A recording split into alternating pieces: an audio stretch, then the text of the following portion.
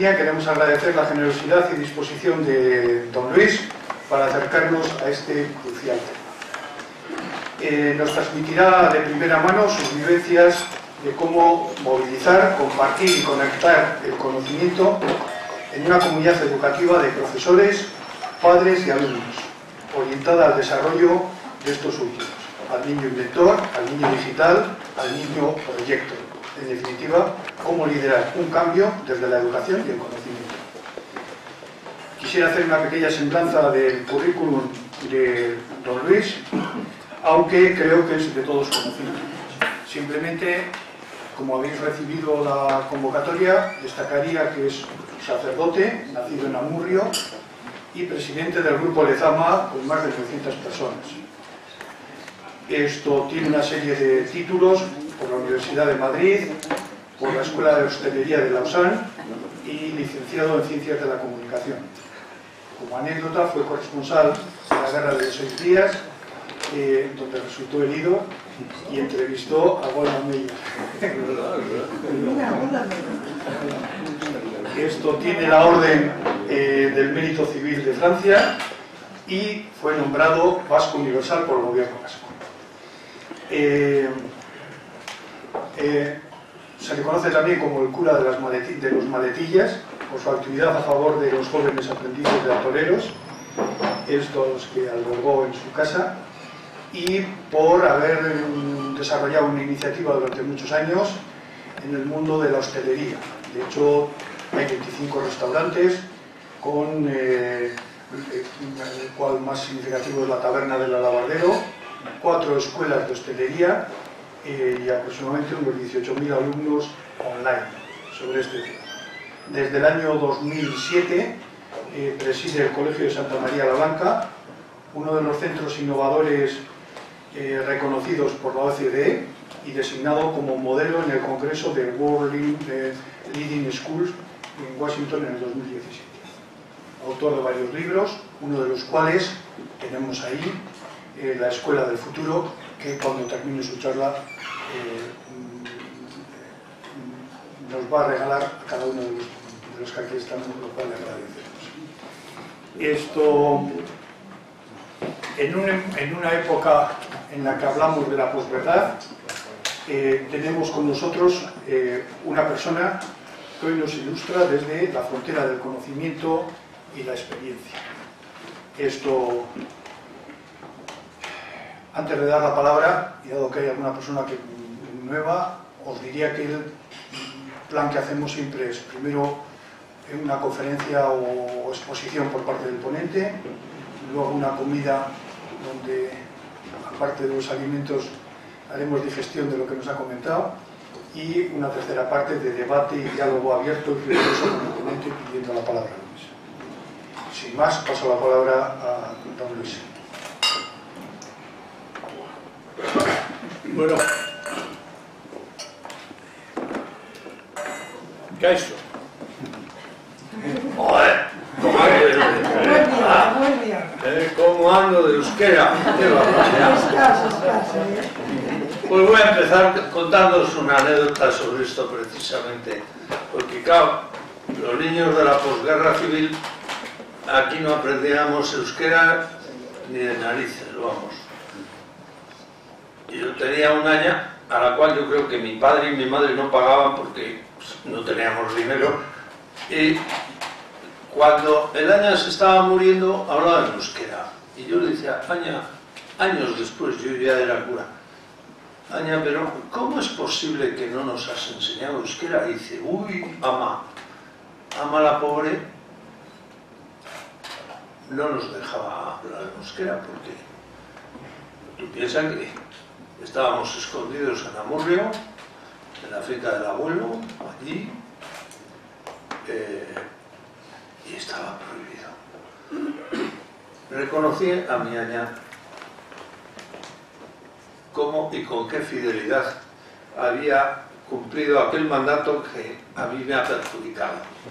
Tiempo después, hace apenas unos meses, se murió Sofía Gandarias, esposa de Enrique Barón, gran amigo, y Sofía ya sabéis que es pintora incluso, ahora creo que está, no se interesa, al final has conseguido hablar, ¿no?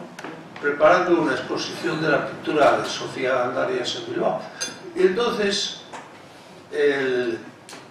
Enrique, en el funeral cívico, al cual pues fuimos mucha gente, dijo, Sofía era creyente y yo no me quedaré tranquilo sin hacer una celebración católica y cristiana con Sofía presente y para lo cual le pido al Padre Ángel, el Padre Ángel que todo el mundo conoce, que en su iglesia de San Antón prepare un funeral por Sofía Y tú, Luis, supongo que vendrás, sí, claro. Pues, Así pues, el día señalado, en esa iglesia de San Antón, que permanece abierta 24 horas y donde el Padre Ángel ejerce su peculiar estilo pastoral, pues se celebró el funeral por Sofía Gandarias. Allí estaba Enrique, allí estaba su hijo y muchos amigos, pues amigos que hemos vivido y transitado por un mundo uh, muy interesante, fue la transición española y el desarrollo de la democracia. Entre ellos, pues, incluso no faltaba la reina madre Sofía. Pero mmm, yo llegué tarde porque Madrid a las 8 de la tarde o te toca un funeral o te dan una conferencia o, o la das. Es horrible las 8 de la tarde. Y llegué tarde, llovía, era un día horrible y tal. Ya había empezado el acto, el Padre Ángel, solemnemente vestido, con dos aláteres revestido en el altar, había empezado el oremos. Yo entré sigilosamente, la iglesia estaba llena, pero había una sillita escondida en una esquina de la tercera o cuarta fila. Entonces me situé allí y me senté. Pensé que nadie me había visto, pero de repente el Padre Ángel me miró fijamente y me dijo, ch, ch, y me hizo señas de que subiera al altar. Yo dije, pues no. Tanto insistió que en un momento dado paró la ceremonia y dijo, Luis, o subes al altar o no seguimos.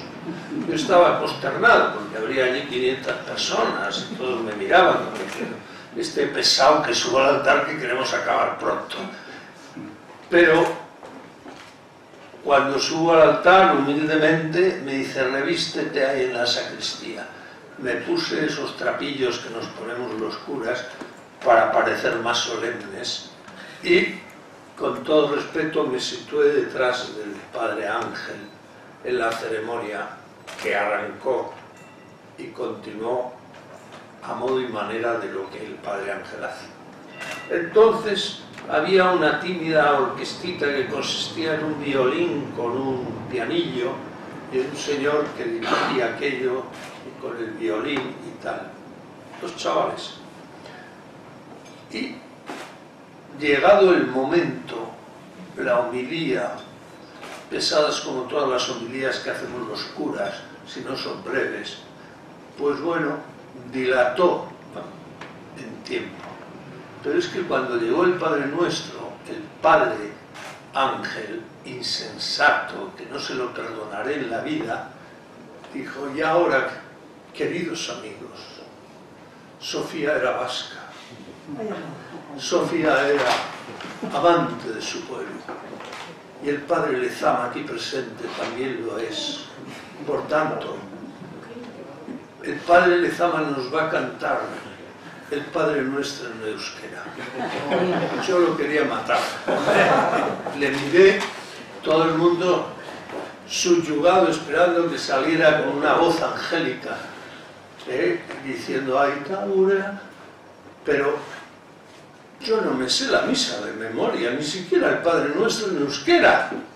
Y entonces le dije, Ángel, no me hagas esto, que lo bajíes, pero se oyó toda la iglesia. Por favor, que yo no sé decir la misa en euskera y se oyó en toda la iglesia. Y entonces, obligado, buscándome en los ropajes y metiéndome la mano en el bolsillo trasero, le dije, mira, llevo siempre la chuleta de la misa en euskera, porque a veces cuando voy a Barambio o a algún otro pueblo me hacen decir la misa en euskera. Y delante de todo el mundo dije, señoras, lo siento, tengo que mirar la chuleta. Y con la chuleta en la mano le miré al músico. El músico era un rubicundo guipuzcoano sonriente y me dijo, padre, yo soy de Donosti. ¿Qué me dices? Todo esto con toda la misa parada. ¿Qué me dices? Digo, pues entonces te sabrás el aita. Dice, claro que me lo sé, lo cuento con usted. Y entonces, allí nos tienes a los dos con la perplejidad y la sonrisa maliciosa de Felipe González, Joaquín Almunia, etcétera, compañeros de Enrique Barón. Vaya atrás. Así que lo siento, pero no voy a hablar en euskera, no viene esta intervención en mi chuleta. Me la guardo para otra ocasión. Pero me ha gustado comenzar con esta anécdota tan reciente y tan querida. Mirad, yo creo que he escrito este libro por carambola. Me tocó, como te tocan en la vida muchas cosas. Cuando yo era un rapaz en el colegio de Indaucho, y mi tío Pedro el jesuita, Pedro Lezama, me expulsó del colegio un año por ir a ver, todo hay que contarlo, Escuela de Sirenas, en el Ízaro, con otra banda de amigos nos colamos. Nunca pensamos que la taquillera de entonces era dirigida espiritualmente por el padre Lezama, mi tío, y se chivó. Su sobrino y fulanito perenanito han entrado en Ízaro a ver Escuela de Sirenas. Pues bueno, gracias a ello me expulsaron un año y tuve que ir al instituto. Una experiencia muy distinta. Cuando volví al colegio y le hice un gesto desagradable a mi tío que no llegó a ver afortunadamente, volví con buenas notas y perfil de haber estudiado, cosa que no era pero luego la vida te lleva por esos derroteros pensables. Mi padre se empeñó en que fuera a estudiar ICAI porque, claro, ser ingeniero, vosotros, aquí os voy a contar esta historia, sino a vosotros bilbaínos de pro que ser ingeniero en Bilbao era entonces pues, lo mejor. Y mi pobre padre eh, estaba ilusionado. Pero la escuela de ingenieros de Bilbao ya era hueso, creo que lo sigue siendo, y complicada, ¿no? De Perú. Bastante. Entonces me mandaron a ICAI, que parecía que era más fácil. Aquello fue un desastre. Yo no estudié. Repetí una historia, y es que mi padre cuando tenía 16, 17 años me mandaba a Fisley a aprender inglés en una familia inglesa teóricamente, pero como siempre, pues la familia inglesa tiene unos apartamentos para estudiantes a los que saca provecho yo volví un verano y otro de Finchley, habiendo aprendido muy bien francés, porque las chicas que vivían conmigo eran franceses. La vida. En el colegio de los jesuitas, en Indauchu, era un buen. Cuando el reto de la vida me lleva a mí, hace 15 años, a plantearme otro modo de vivir, que no era el de un tabernero, adoctrinado en la escuela de los como tú has dicho, sino más bien quería volver a ser un cura, un cura de parroquia, porque todavía han sido años sabáticos prolongados por Tarancón. Planteé a mi equipo algo de lo cual no estoy arrepentido y el tiempo me ha dado la razón. El consejo de nuestro grupo está formado por chicos y chicas que llevan muchos años trabajando y que se han formado con nosotros. Llegaba el momento de mostrar que eran competentes para dirigirlo. Llegaba el momento también de entregar el poder, porque esto de que el cura solucione el crédito que necesitamos para proyecto era un paternalismo pernicioso. Y no lo veía yo precisamente lógico de continuar. Paternalismo en las empresas familiares es malo, pero en los curas es peor. Porque creen o creemos que todo lo solucionamos. Si no es por lo humano, es por lo divino. Y no es así. Si yo había aprendido algo en mis años de seminario, es a valorar ese tipo de curas sociales que siempre lo digo y me lo habéis oído más de una vez, tenía como líderes a José María Mendiarreta, a Marcelo Gangoiti y aquella generación de curas que hicieron de este país, Euskadi, un lugar distinto, con unas connotaciones distintas, de inversión social, creación de trabajo y valor del capital humano. Entonces, hace 15 años, nos habíamos acostumbrado que cuando íbamos a la caja de ahorros de Madrid a pedir un crédito, teníamos que llevar una finquita en la boca, aunque fuera un piso o algo, para que nos dieran crédito para un nuevo proyecto. Pero algo barruntaba que aquello ya no era así. Si el piso valía 100.000, te daban un 30 o un 40% y lo demás lo buscabas. Hemos sido sobrevivientes y náufragos de vivir sin, socios, sin ayudas en el grupo Lezama y sin créditos oficiales, sino créditos bancarios, a veces a los más altos intereses. Y habíamos aprendido entonces que de los políticos no se puede esperar nada y que aquellos que perciben subvenciones no siempre acaban bien, porque crean un falso capital humano basado en el dinero estatal o en el uso de ese dinero y no en la generación del dinero, digamos, de mercado, digamos, del producto que ellos producen. Esa dura experiencia me llevó, sin embargo, a considerar que teníamos que descapitalizar. Porque miren ustedes, nosotros los hombres de la Iglesia, y ahora me pongo el birrete clerical, no cardenalicio, por supuesto, porque afortunadamente ni he sido ni seré ya obispo y menos a un cardenal.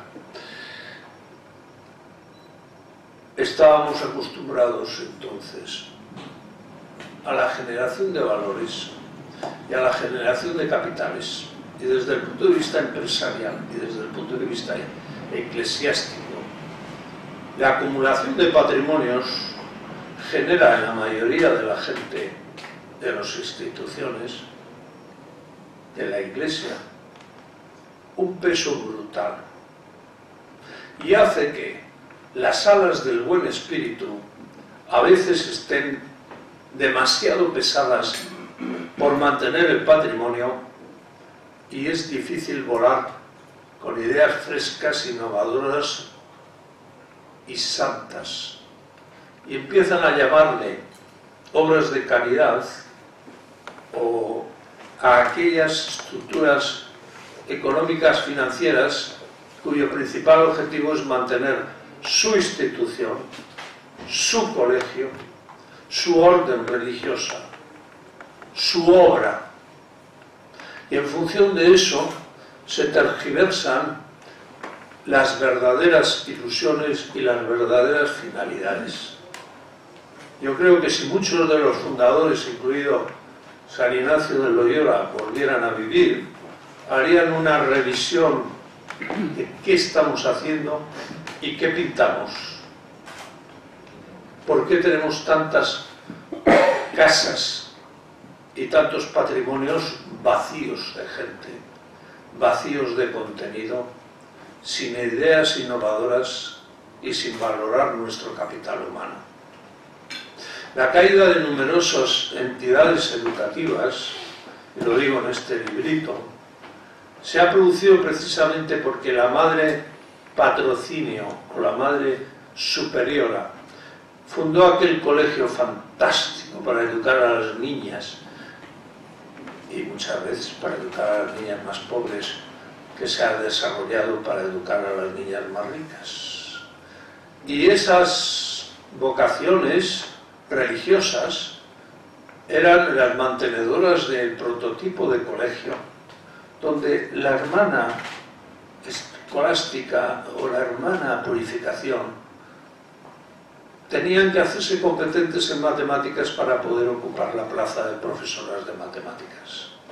Pero la educación ha evolucionado mucho y los religiosos y las religiosas tienen menos vocaciones.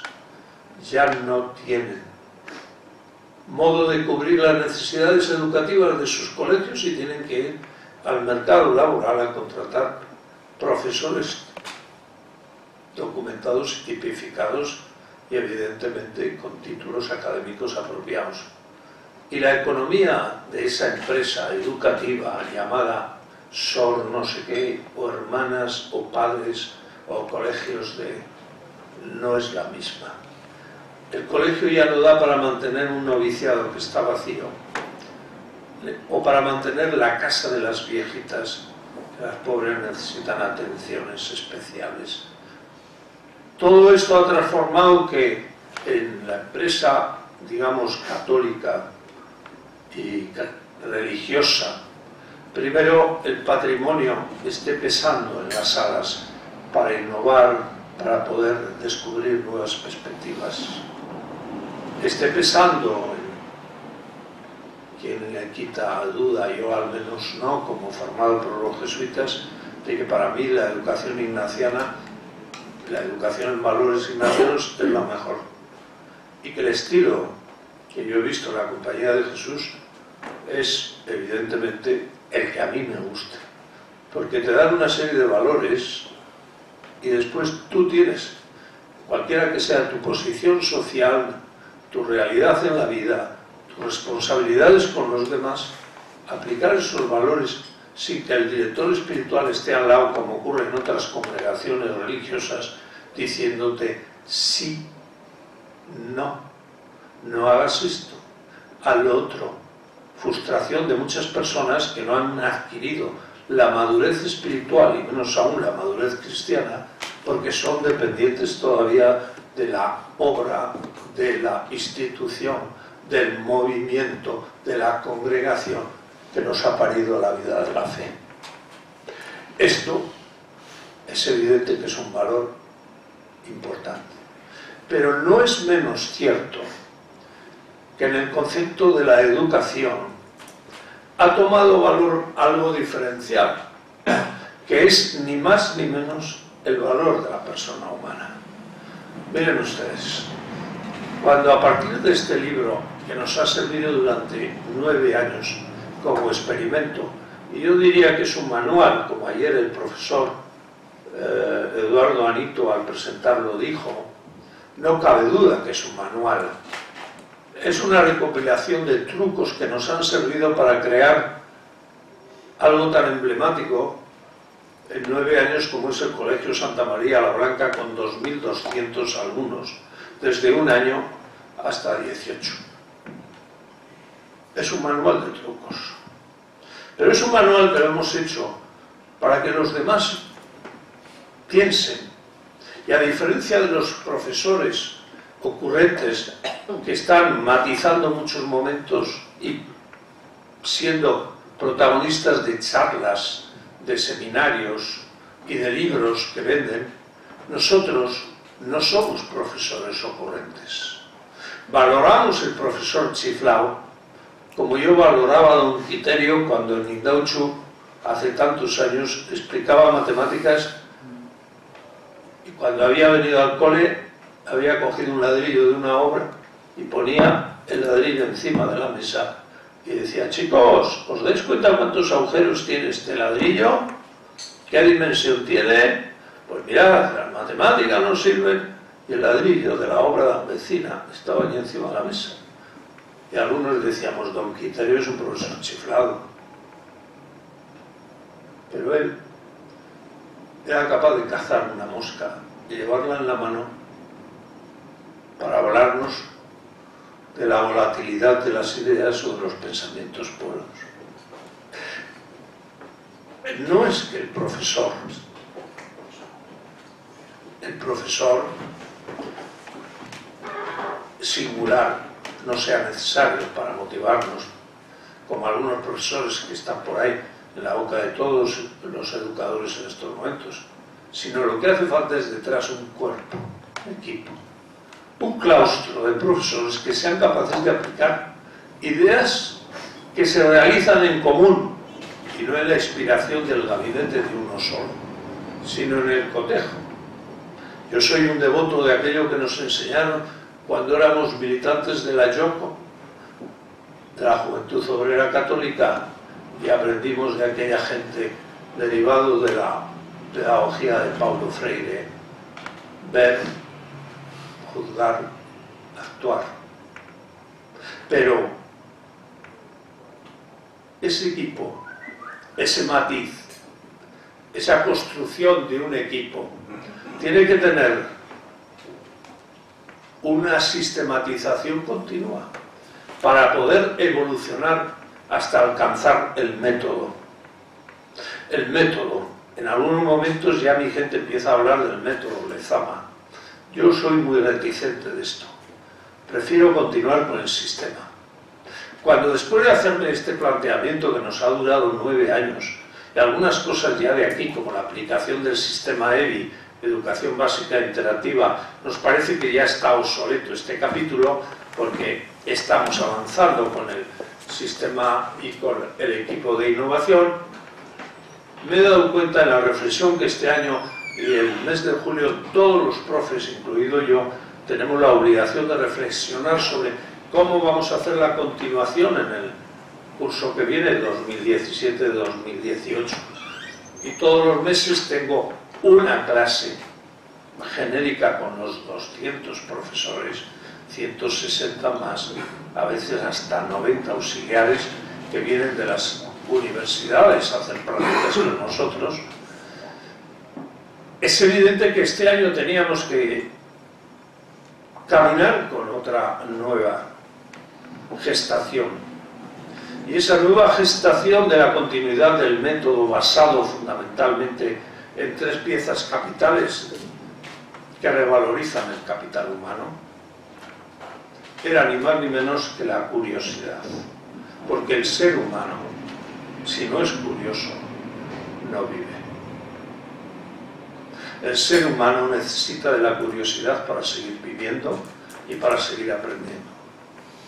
El ser humano, como veréis, hay, os aconsejo sobre todo ese capítulo dedicado a la innovación, que mucho he aprendido en aquellas primerizas charlas sobre la innovación que José Luis Larrea en Ibermática produjo durante años, porque José Luis Larrea eh, es inevitable que yo lo cite aquí.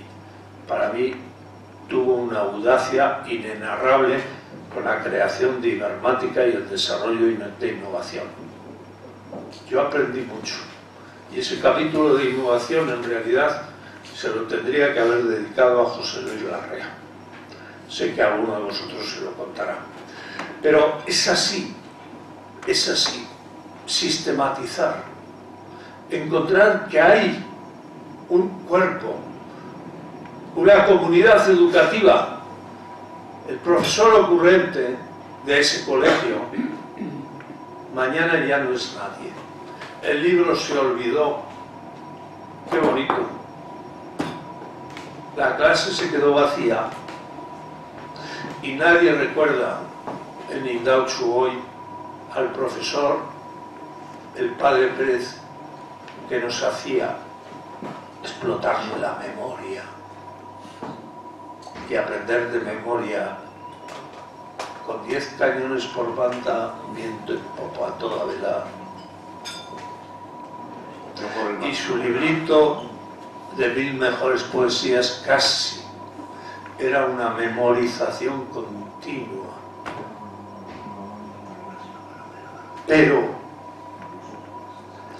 esa actitud de hace 15 años, vender todo el patrimonio.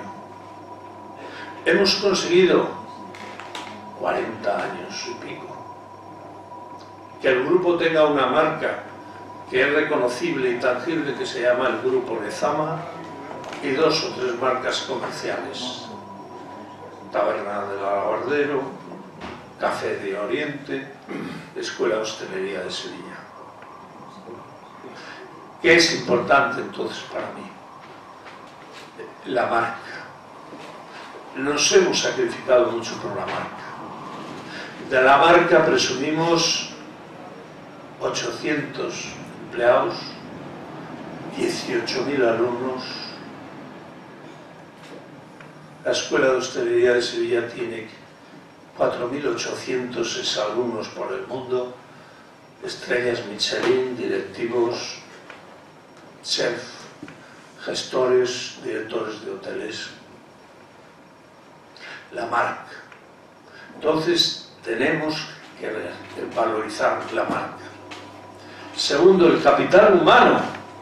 Somos millonarios en mi empresa, en mi fundación, de capital humano. Mientras todos los que tienen dinero les faltan ideas y el dinero no produce creatividad. Nosotros tenemos mucho capital humano y muchas ideas. Esta misma mañana con dos alumnos que me acompañan y que están aquí, les enseñaba yo las barras de pinchos de Bilbao.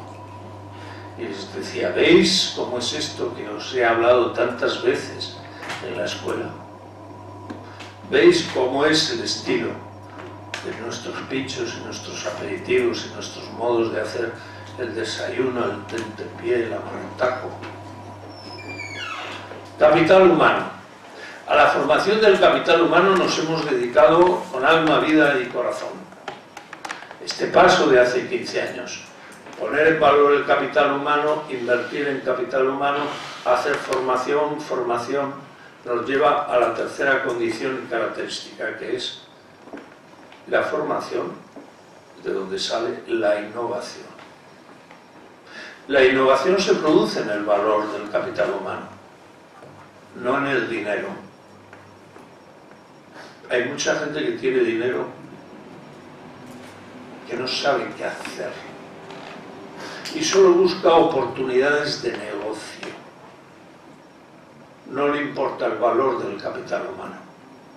Algunos de nuestros exalumnos o de nuestras gentes se vuelven desalentados de marcas importantes o de empresas importantes diciendo, don Luis, allí no me trataban como ser humano. Me pedían más productividad y yo vivía agobiado día y noche. Don Luis, he pasado por el restaurante tal de tres estrellas Michelin, pero todos los meses de un año de prácticas solamente me dejaban poner la guinda al pastel, nunca me explicaron cómo se hace el pastel. Don Luis, este afamado restaurador tiene a los alumnos en prácticas gratuitamente en barracones sucios, malolientes, llenos de cucarachas y a veces escasos de higiene, comida, etc. La explotación del ser humano no hay que ir a buscar a los países del tercer mundo. A veces la tenemos al lado de casa. Valor del capital humano. Sí, claro. Cuando yo me paseo por el colegio y veo que un chaval de 10 o 12 años me sorprende en un tránsito y me dice, Lezama, ¿cómo estás? Pues bien, te noto muy preocupado. me da oxígeno al alma. No veo muchos colegios donde los alumnos puedan mirar al profesor con ese cariño, con ese sentido de Lezama, te noto muy preocupado. ¿Qué te pasa? Algunos de estos, en algunos de estos colegios, ni siquiera se produce al revés.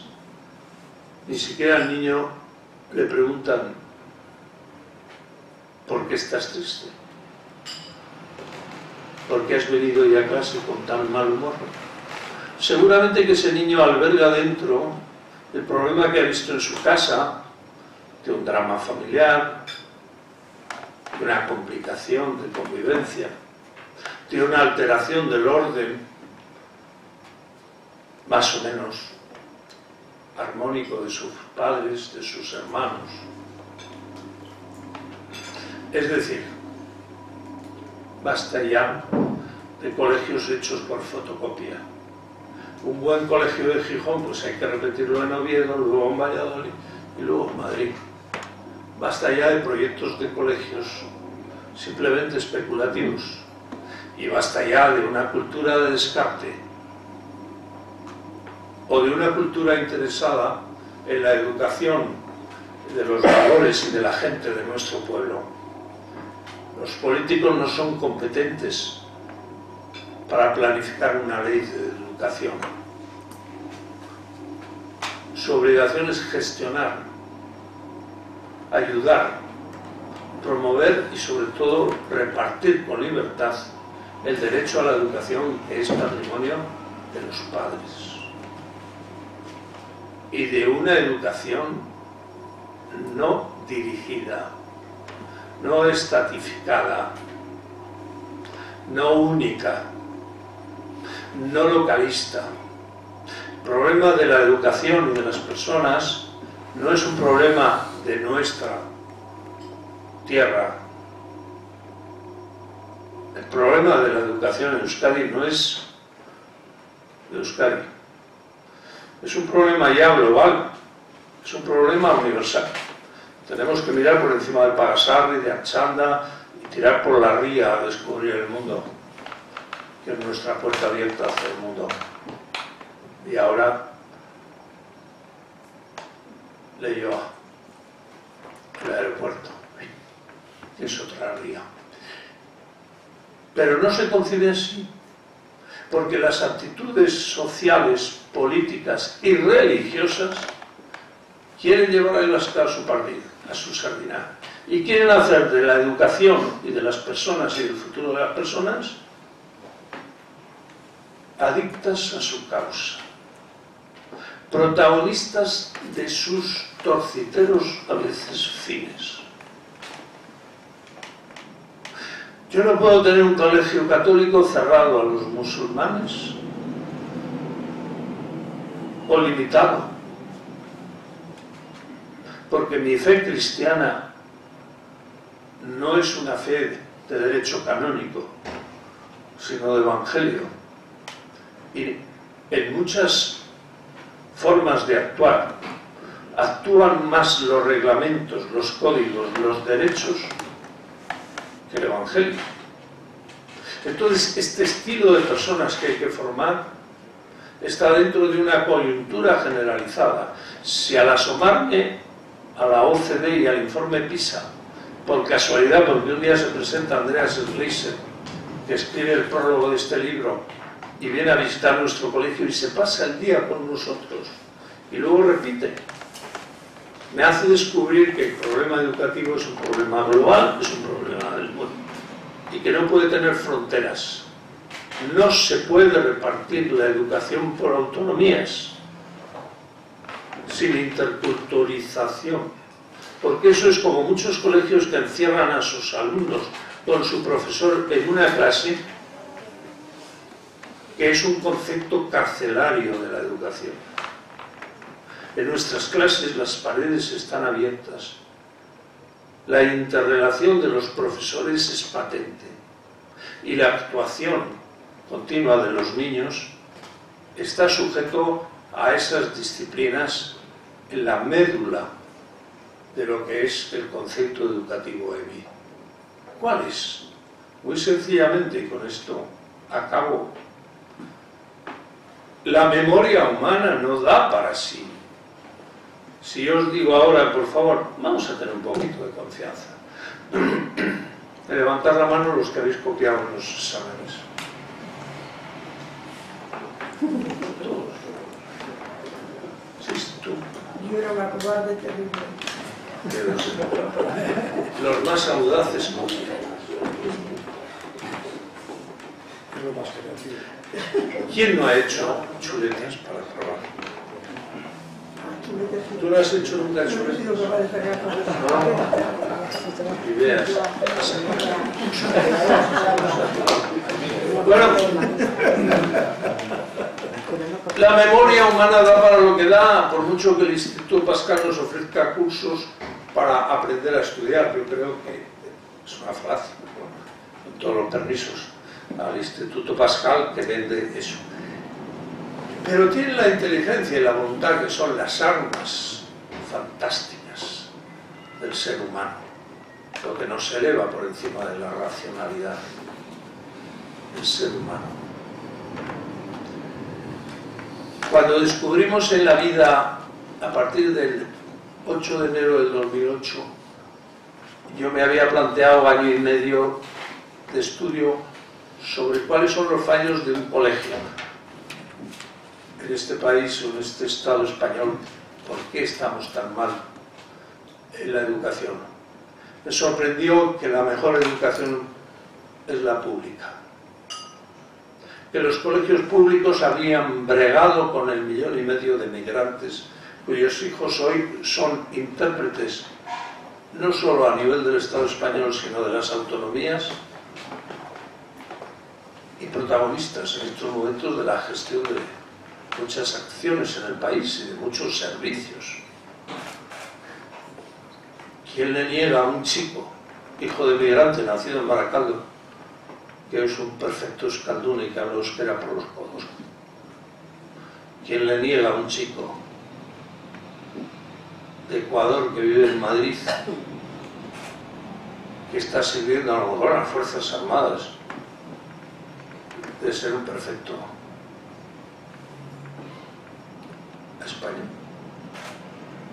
El millón y medio de migrantes asumidos por la educación pública e integrados por la educación pública. Lo que pasa es que la agitación política ha manipulado a la educación pública, a los concertados, a los privados y nos ha hecho pegarnos mamporros para contemplar los políticos desde el burladero esta triste corrida de la educación en España que ha aflorado con tantas vicisitudes. Mientras ellos buscaban un gurú que fabricara una nueva ley. La ley no ha servido para nada porque no cambiaban los sistemas. Tenemos el mismo sistema y ustedes seguirían arando con un arado romano en la finca cuando tienen unos magníficas cosechadoras y tractores hasta con aire acondicionado. ¿Cómo es posible que sigamos haciendo clases magistrales, apuntes, fotocopias y evaluaciones trimestrales con exámenes y poniendo deberes para que papá y mamá se sacrifiquen en casa en enseñar al hijo lo que en el colegio no aprenden? ¿Cómo es posible que esa mentalidad, pues indudablemente, como decía Andreas Schleisen, oye, por favor, dejaron los españoles de mirar a Singapur o de mirar a Finlandia o de mirar a, a Estados Unidos y copiar de lo que tenéis ahí, en Santa María Blanca. Eso lo dice aquí, con gran sorpresa de todos. Porque claro, los cuatro o cinco primeros años yo he recibido mamporros de todos, de la administración pública, del obispado, de, de Rocco Varela, de los papás de los niños, este es un loco de acá, este está loco, es vasco, además es de allí, ya, este tiene unas ideas que nos va. Oiga, con mis hijos no juega usted. O vuelve usted al método tradicional o me llevo a los niños, porque. Asamblea de 400 padres en contra. Todo eso se ha desmoronado cuando han visto los resultados. Cuando tenemos tres generaciones eh, ya en la universidad y vienen diciendo, joder, Luis, no sabe usted el bien que nos ha hecho el sistema educativo. Andamos en la universidad como Pedro por su casa porque ese es. Entonces la memoria con la inteligencia de la voluntad no puede sostener todo.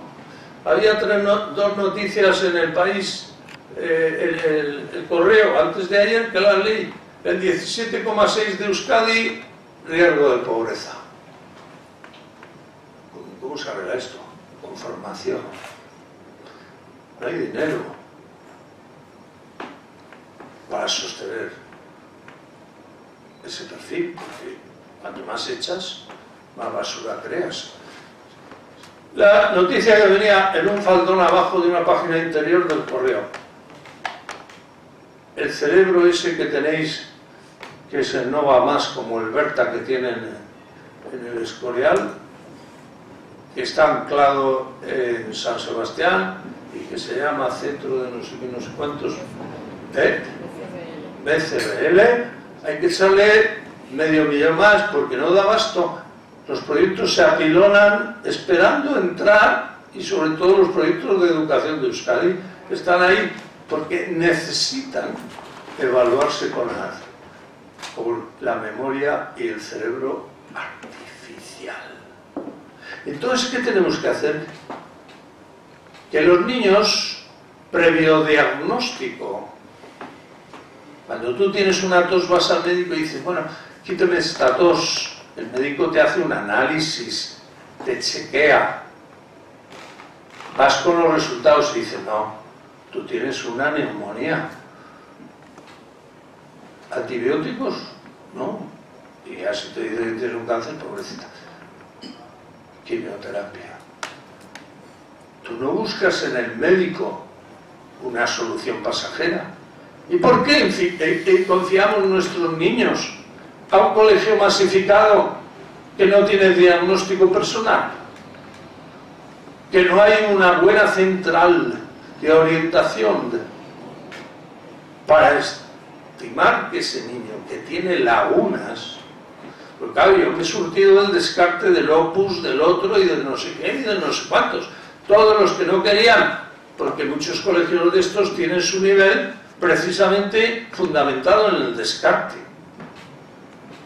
Descartan, descartan, y esos niños hiperactivos con lagunas, descartados, se convierten muchas veces en frustrados para toda la vida.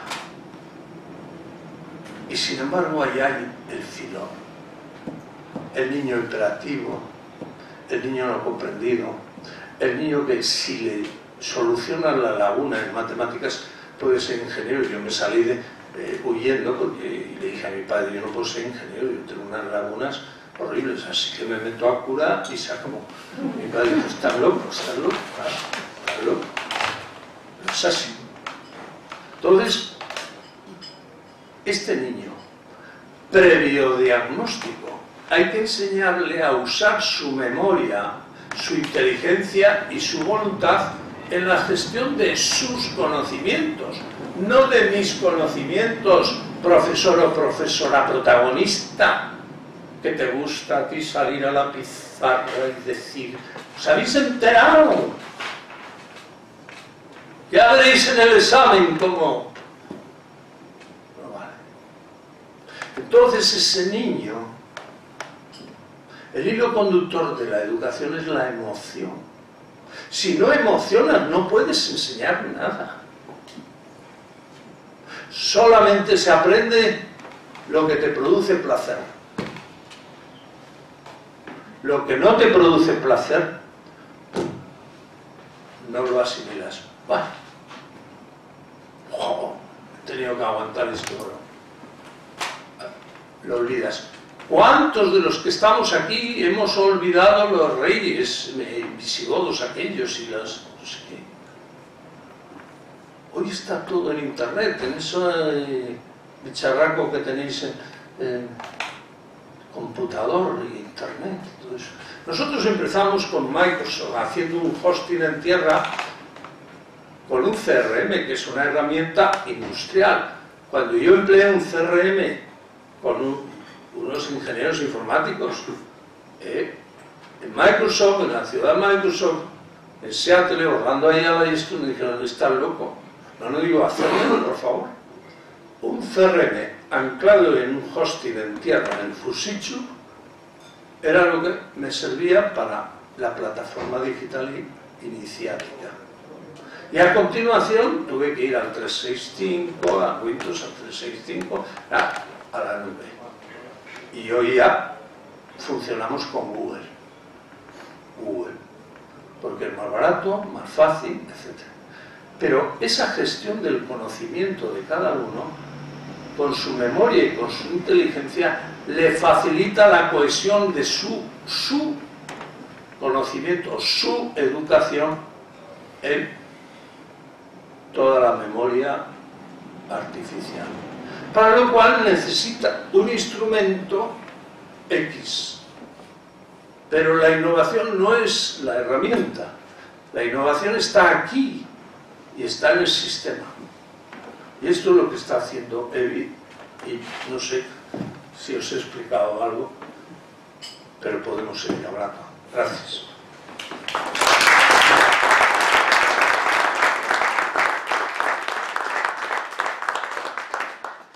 Bueno, después de esta, este